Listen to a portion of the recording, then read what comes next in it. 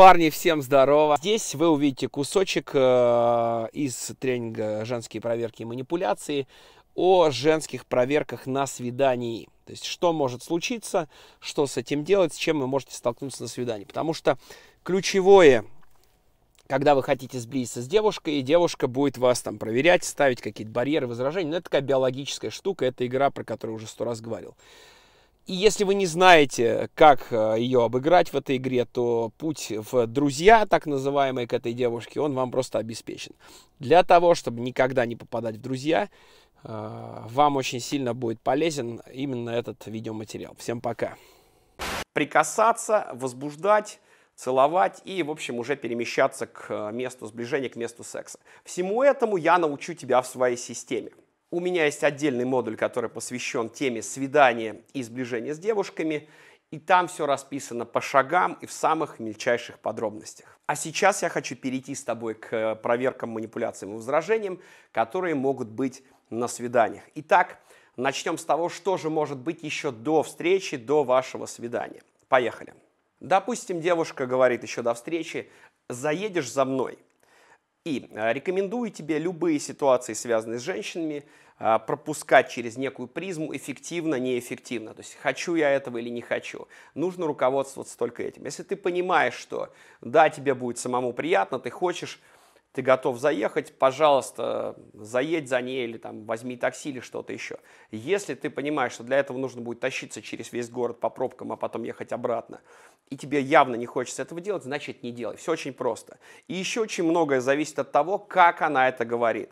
То есть ее донесение. Потому что если она тебя просит, она говорит, блин, слушай, там, не мог бы за мной заехать, было бы очень приятно, там, то есть я сейчас там не могу, я немножечко закрутилась на работе, это одно.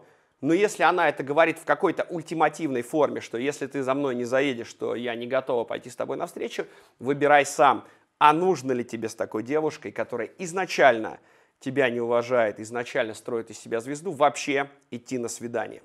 И что можно ответить? Можешь сказать, слушай, мне неудобно. Самое главное, не надо оправдываться. Говоришь, я не хочу, мне неудобно, давай ты приедешь сама.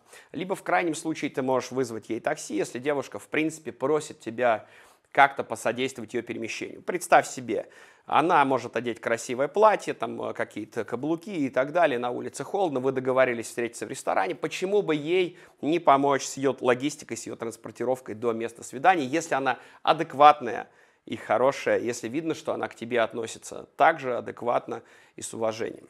И здесь везде есть какие-то нюансы. Не надо впадать в крайности. Допустим, один из моих учеников, э, недавно, который внедрил мою систему, рассказывал в нашем закрытом чате такую историю, что это была уже третья встреча, вот, э, должна была состояться. И, в общем, девушка говорит, что, слушай, вообще я могу приехать к тебе домой сразу. Есть там я одела красивое платье, я могу приехать. Ну, то есть логично, о чем это говорит, что девушка уже готова приехать сама и сама предлагает и заняться с ним сексом. Вот. Единственное, вызови мне, пожалуйста, такси. Мужчина слишком буквально воспринял ее просьбу, слишком, может быть, негативно о том, что она хотела вызвать такси, и он отказался. Он сказал, что это я буду вызывать тебе там такси, сама доедешь. В итоге она сказала, ну окей, и не поехала.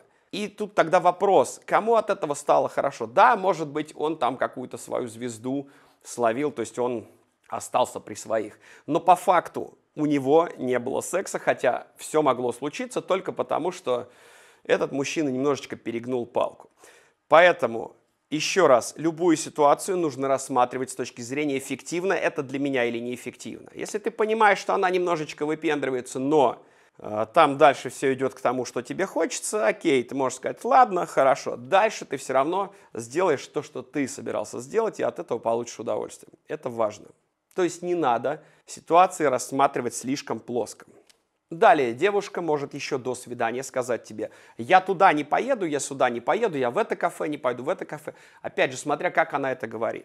У меня было очень много разных случаев, и один из примеров, когда я познакомился с девушкой в пробке на дороге, то есть мы договорились с ней встретиться, и когда я ей позвонил, говорил, давай, все, в общем, во столько-то, во столько-то я заезжаю, она говорит, вот сюда я не пойду, если что, в это кафе меня не приглашай, вот сюда, вот сюда, вот сюда. Не надо меня трогать, не надо меня целовать, я не целуюсь там на первом свидании, на каком-то свидании, я там не хочу об обниматься, убери руки и так далее.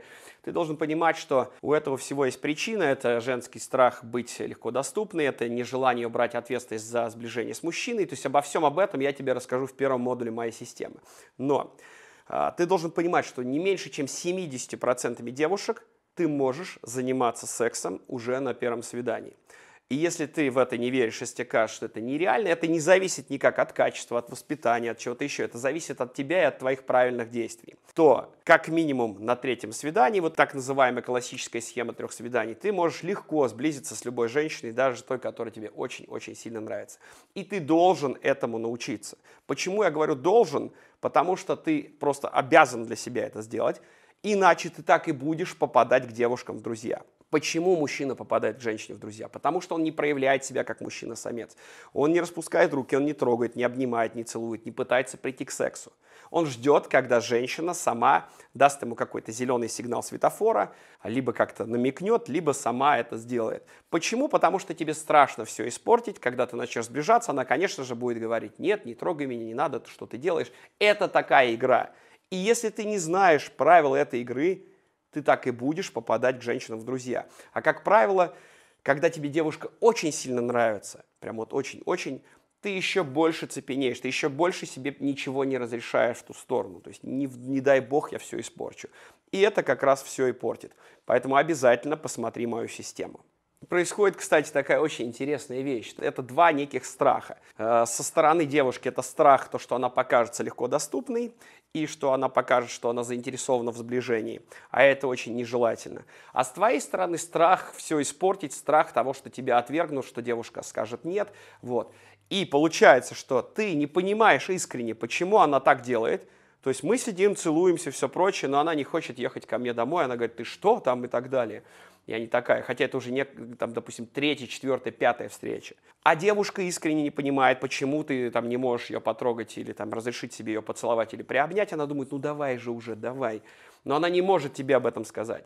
И она думает, что с тобой что-то не так, что ты просто не уверенный в себе. Вот и срослись эти два непонятных, абсолютно глупых и бесполезных страха со стороны женщин и со стороны мужчин.